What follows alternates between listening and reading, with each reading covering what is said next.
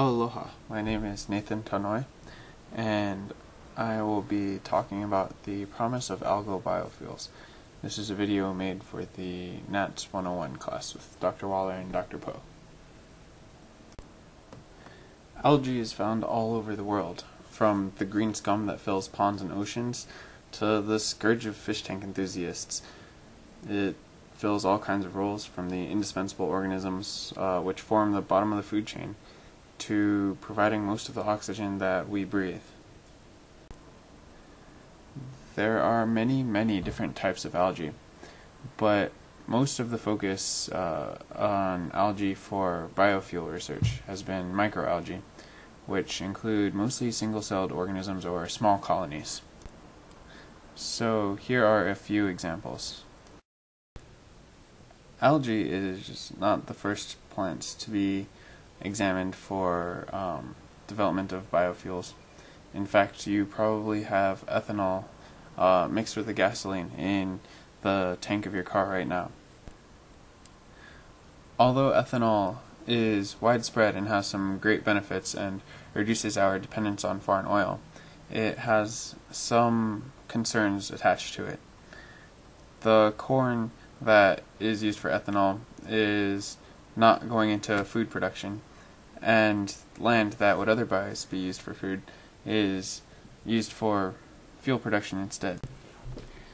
Algae promises to offer a solution to these troubles without competing for arable land or nutrients, all while presenting several benefits of its own. First, algae grows with little maintenance. We've all seen how annoying it is when algae fills a swimming pool or fills a uh, fish tank. Second, it does not displace land crops because it grows in water. Um, third, it's not usually used for food, so there's no concern about competition between food and fuel. Uh, it can even be grown with wastewater, uh, cleaning up sewage systems and such without uh, using fresh water that would otherwise be used for crops either. Um, algae has up to 30 times more energy uh, per meter than per square meter than any other biofuel crop. It also is adaptable to various climates due to the many different varieties, um, which is what makes it such a promising uh, overall worldwide resource. And it can grow where nothing else can. I actually just saw an our National Geographic article about how there are very, very dense algae blooms um, in Antarctica, all covered by ice and surrounded by glaciers. But it's some of the densest uh, algae growth they've seen anywhere. Several systems have been designed for growing algae commercially.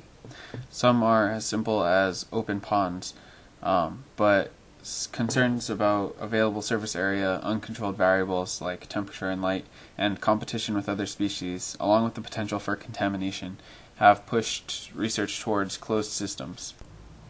These systems are known as photobioreactors, or PBRs, and come in a variety of shapes and sizes, with a myriad of designs. The essential features are a maximum surface area for exposure to light, a method of circulating carbon dioxide and other nutrients, and temperature and temperature control. The process of converting biomass into usable fuels and chemicals uh, is a lot of chemistry, but basically it begins with separating the biomass into its separate components, extracting the oils and sugars and other immediately useful parts, and then uh, putting the rest through a refining process to turn it into fuels that we can use. While several processes have been proven to work, uh, to make them energy efficient, um, that is to get more energy out of the process than you put into it, uh, is going to take much more research. Um, this is probably going to be similar to the way we saw the development of ethanol, where at first uh, much of the energy was wasted and we ended up losing energy in the production process.